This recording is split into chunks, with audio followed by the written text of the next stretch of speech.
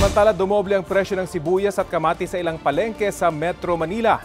Sa Marikina Public Market, umabot na ng 200 pesos ang kada kilo ng sibuyas mula sa dating 100 pesos. 120 pesos naman ang kada kilo ng kamatis mula sa dating 60 pesos.